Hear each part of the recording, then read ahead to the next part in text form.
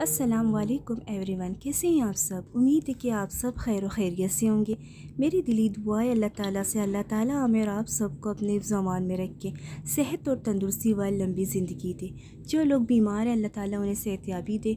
जो लोग इस दुनिया से रुखसत हो चुके हैं, अल्लाह ताला उनकी मगफ़रत फरमाए। आमीन, सुम आमीन। आज मैं आप लोग के साथ शेयर कर रही हूँ लौकी की सब्ज़ी बनाने की रेसिपी।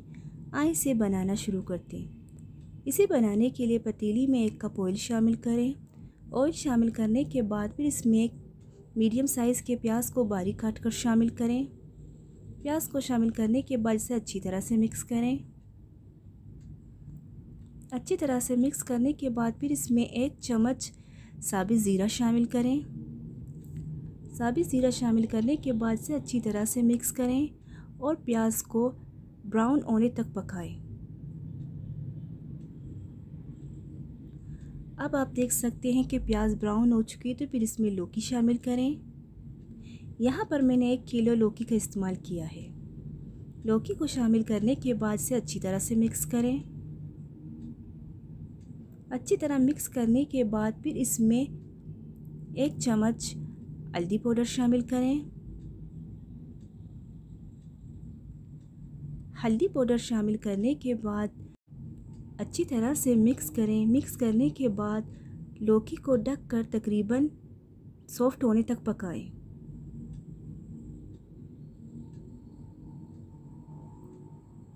बीस मिनट बाद आप देख सकते हैं कि लौकी अच्छी तरह से सॉफ्ट हो चुकी तो फिर इसमें मसाले शामिल करें। यहाँ पर मैंने एक चम्मच लाल मिर्च पाउडर शामिल किया है। लाल मिर्च पाउडर शामिल करने के बाद फिर इसमें एक चम्मच गरम मसाला पाउडर शामिल करें। गरम मसाला पाउडर शामिल करने के बाद फिर इसमें एक चम्मच ओम मेड मसाला शामिल करें। यहाँ पर मैंने एक चम्मच मेड मिक्स मसाला शामिल किया है। मसाले शामिल करने के बाद फिर इसमें एक चम्मच नमक शामिल करें। नमक आप अपने टेस्ट के मुताबिक ले सकते हैं। नमक शामिल करने के बाद फिर इसमें एक चम्मच धनिया पाउडर शामिल करें। धनिया पाउडर शामिल करने के बाद अब इन्हें अच्छी तरह से मिक्स करें।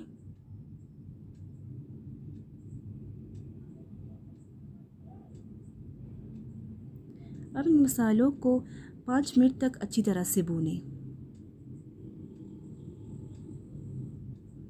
पाँच मिनट अच्छी तरह से भूनने के बाद फिर इसमें टमाटर शामिल करें।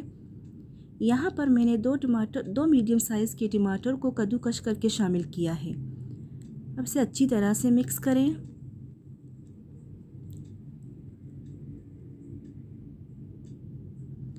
इसे अच्छी तरह से मिक्स करने के बाद ढक कर तकरीबन 10 मिनट तक पकाएँ।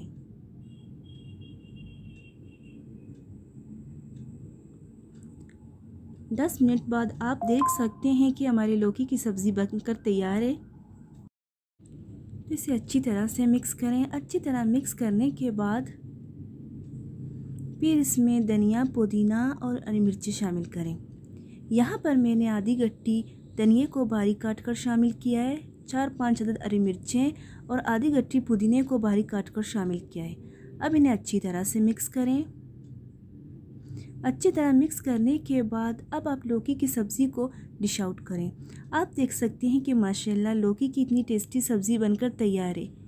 आप इस रेसिपी को ट्राई करें। उम्मीद है कि ये रेसिपी आप लोग को ज़रूर पसंद आएगी। अगर आप लोग को मेरी वीडियोस अच्छी लगती हैं तो मेरे चैनल को सब्सक्राइब करें वीडियो को लाइक करें, अपने फ्रेंड्स और फैमिली के साथ मेरी वीडियो को शेयर करें। अपने अपने घर वालों का ख़ास कर अपने वालदेन का बहुत ज़्यादा ख्याल रखें। अल्लाह हाफिज़।